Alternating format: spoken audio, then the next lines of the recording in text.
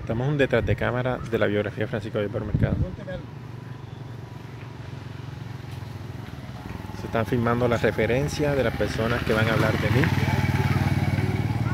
En este en esta eh, videografía, que es una película de mi vida, un documental, se hablarán de mí. Allá ven al profesor con las cámaras, vemos al profesor Rafael Cristóbal. Entonces, estamos iniciando, realizando la película sobre Francisco Javier Barón Mercado. Eh, es algo chévere, algo bacano, entonces la gente va a tener la oportunidad de conocer mi vida. Estamos calculando la opinión. Bueno, entonces calculemos esa opinión. 3, 2, 1. Bueno, eh, en cuanto a esta referencia que voy a hacer, era la que yo podía decirle cuando era joven.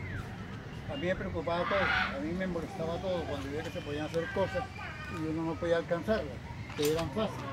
Yo admiro hoy a Francisco Javier, un joven que verdaderamente es inquieto, le gusta pues el desarrollo, es un muchacho cívico, que le gusta es que nuestro pueblo de José Manuel de Altamira, ese pueblo alcance, es decir, la cúspide que debe tener, porque tras de que nosotros somos el primer corregimiento del municipio de San Bernardo, nos falta un poquito de más talla.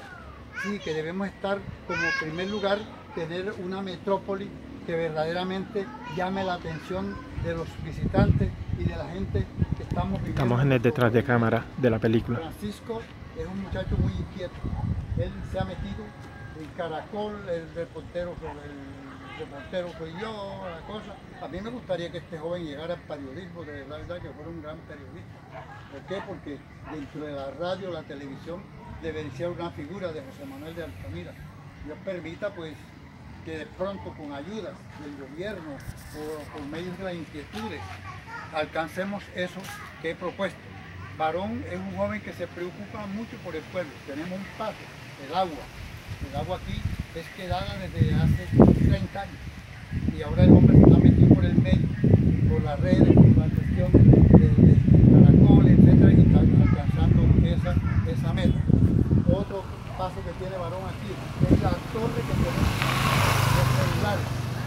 El hombre se inquietó en estos momentos eh, insistió y insistió por la caracol, por la por el Facebook, por las redes sociales. Hemos alcanzado con este joven la torre para los celulares. Estábamos sin señal. Otra inquietud que tiene Varón es sacar un estadio que tenemos ahí. Allí, que se llama Francisco Varón, el nombre de su papá. Fue montado en el año 2000. Y este estadio